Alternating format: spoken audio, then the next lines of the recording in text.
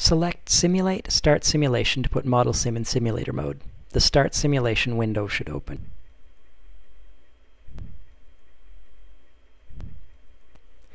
The Start Simulation window contains many tabs. The Design tab lists the designs available for simulation. Most are system libraries. At the top of the list will be Work, def the default name for library containing your program. Expand Work by selecting the plus sign. All components in your design will be listed.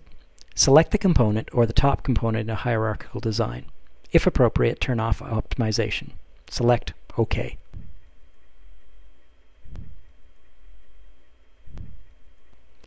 The left-hand side of the screen should now contain a SIM tab that displays the design units in your circuit and supporting libraries. When a design unit is selected in the SIM tab, the corresponding signals are shown in the Objects window on the right-hand side of the screen.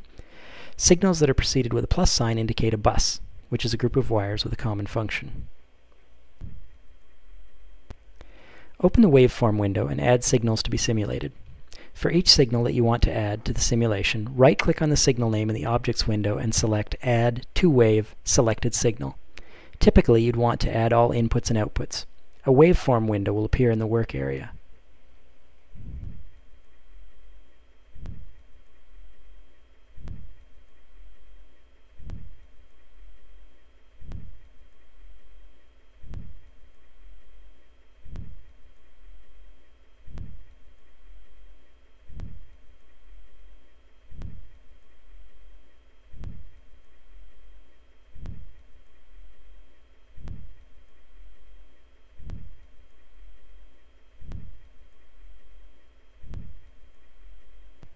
Alternatively, you can add a range of signals at once by selecting the first signal and then while holding down the Shift key, select the last signal in the range. Then right-click in the selected signal region and add Select Add to Wave Selected Signals.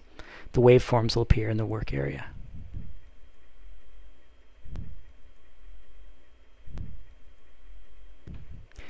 When all signals are selected, expand the wave window. If the wave window is not floating above the ModelSim main screen, use the top left icon in the wave window to undock the window.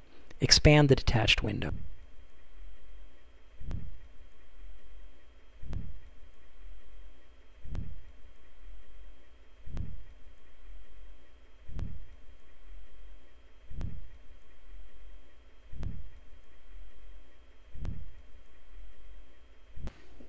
To enter a signal value on a step-by-step -step basis, select an input signal and right-click on the pop-up. Select Force, and for value, enter either 0 or 1.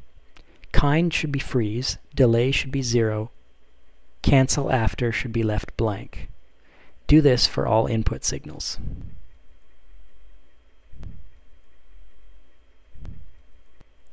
In the Tools icons, find the window that contains the period of the signal, for example, 100 nanoseconds. Immediately to the right of that window will be the Run Simulation icon, which looks like a page with a blue down arrow beside it. Select Run Simulation.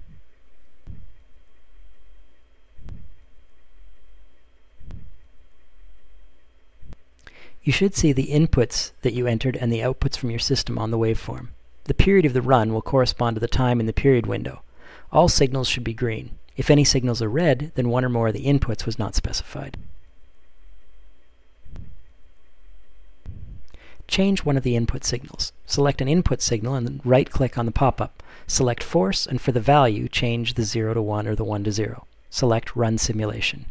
Repeat that until all the possible input combinations have been tested.